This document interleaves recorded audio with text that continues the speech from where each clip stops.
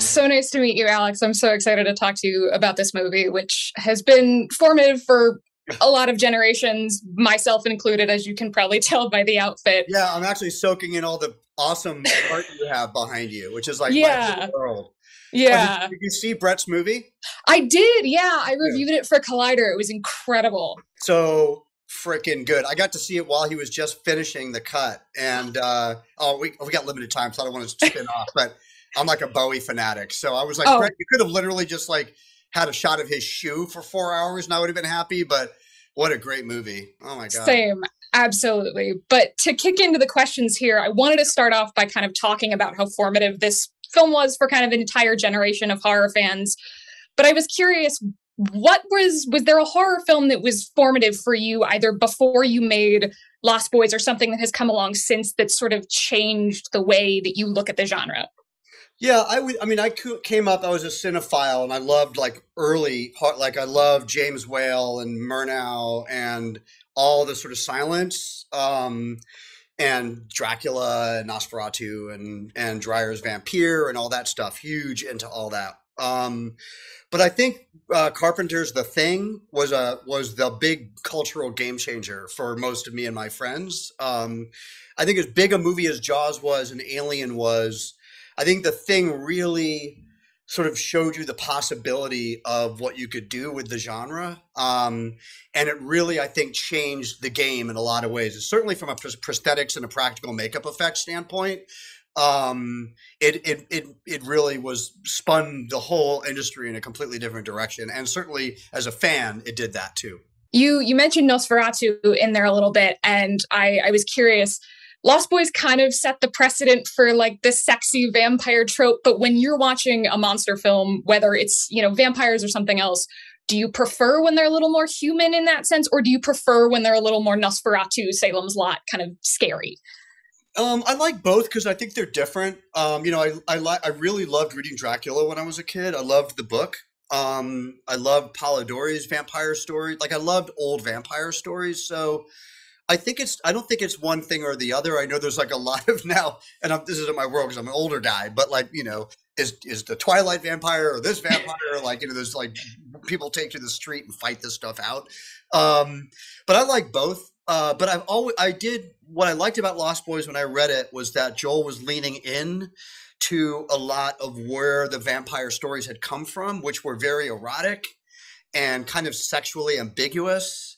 And those things were not new they were he he married them to what was going on in that world in the 80s with fashion and music.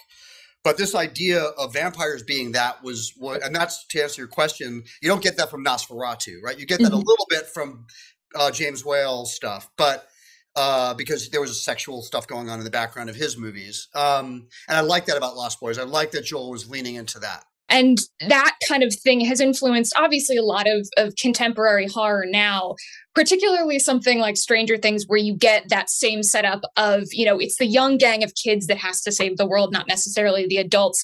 And i was curious what it's like for you someone who kind of set out and, and helped create that sort of subgenre of horror what it's like to watch those projects be made now specifically with such a nostalgic lens being cast on the 80s as a decade yeah, it's, it's it's interesting. I mean, I I I think it's incredibly well made. Um, I don't connect with it probably as much as other people do because it is it is one step removed from the source, um, which I li- literally lived.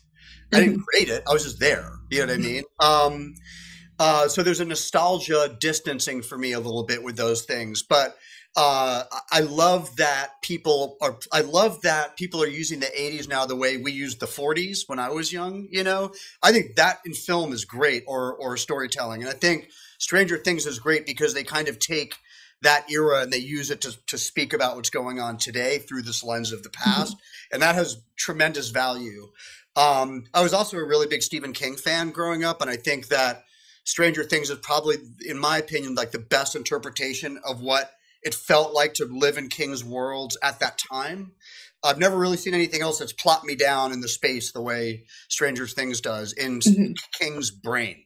and kind of to follow, I guess, Stephen King and, and the sort of general horror scene, you just wrapped on a movie called Destroy All Neighbors, which is coming to Shudder next year. And I was curious, you've spent a lot of time in the last couple of years working on documentaries. You did YouTube Effect, you did Zappa.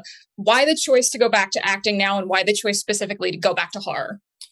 Um, you know, I I started training again about a decade ago, uh, knowing that I wanted to do some more acting. Uh, we got Bill and Ted off the ground. I got to get back in prosthetics, which is, you know, I don't know what it says about me, but one of my very favorite things in the world to do. Um, and I come from theater. That's where I started um, on Broadway, and I came up doing very crazy character work. Um, it's kind of my sweet spot.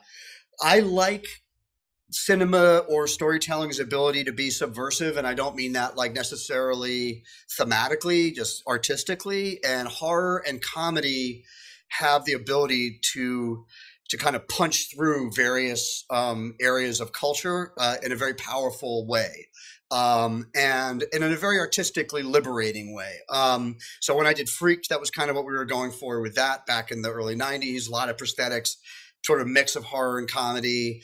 I knew I wanted to do something else that was a mix of horror and comedy. And so when Jonah Ray Rodriguez and Josh Forbes came to me with with Destroy a few years ago, I was like, yeah, I'll come on board. I'll play this character. I'll, I'll see if I can help us get it financed. I'll produce it with you guys. Um, and it is a really I'd say a very fresh and inventive take on a physical effects driven horror comedy. There's a lot of really funny stuff in it, but there's a lot of gore too. So, mm-hmm. um, and I'm buried in prosthetics. It's just, it's just awesome. As somebody who is a massive fan of, of practical effects and, and special effects makeup, I am very glad to hear that. I love, I love seeing practical effects. But I have one last question for you, and it's kind of a silly one. But since The Lost Boys is about vampire hunting, if you had to go up against one kind of famous vampire in a fight, who do you think you could beat? Anyone from Twilight? I mean, yeah, that's fair. It's fair not really a fair fight. There wouldn't really be much of a fight. I think I would just go boo, and they would all run.